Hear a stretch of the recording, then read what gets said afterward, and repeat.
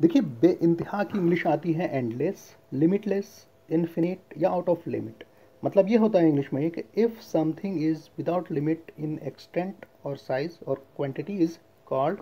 बे इंतहा हिंदी में बे इंतहा का अर्थ होता है बेहद, बेहिसाब, अति, बहुत या इफरात। मतलब ये होता है हिंदी में कि जिसकी कोई इंतहा या हद ना हो मतलब असीम हो, उसको हम बे इंतहा बोलते हैं। जब हम बे इंतहा शब्द को अपने सेंटेंसेस में यूज़ करेंगे तो हम लोग इस तरह से सेंटेंसेस बना सकते हैं, जैसे कि उन्होंने अपनी ज़िंदगी में बे इंतहा दौलत कमाया। मतलब हुआ इंग्लिश में कि he earned limitless wealth in his life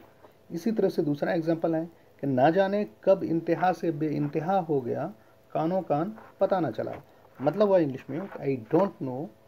when it became limitless from the limit तो उम्मीद है आपने बेंथ्या शब्द को हिंदी और इंग्लिश में अच्छी तरह से समझ लिया है। Thanks for watching educators please like this video and subscribe my channel to get more videos like this thank you